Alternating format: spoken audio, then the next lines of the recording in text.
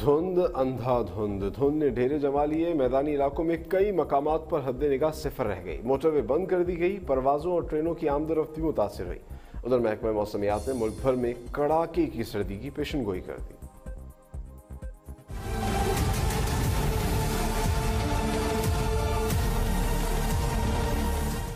دھند نے پنجاب سمیت ملک کے مختلف علاقوں میں ڈیرے جما لیے۔ چہنگ مہلنوال، پھول نگر، جمبر، پتوکی میں شدید دھند، میدانی علاقوں میں کئی مقامات پر حد نگاہ صفر رہ گئی۔ شدید دھند نے شہریوں کی مشکلات میں مزید اضافہ کر دیا ہے۔ شدید دھند کے باعث لاہور سے سمندری اور خانقاہ ڈوگرا تک موٹر وے بند کر دی گئی۔ لاہور تک کوٹ سرور تک بھی انٹرچینج بند، تو ادھر قومی شاہراہ پر رنالا خورد اور اوکاڑا میں بھی دھند کے باعث ٹریفک کی روانی متاثر ہو گئی ہے۔ ٹریفک پولیس حکام نے ڈرائیورز کو فاگ لائٹس کا استعمال کرنے کی ہدایت جاری کرتے ہوئے غیر ضروری سفر کرنے سے گریز کی بھی تلقین کی ہے۔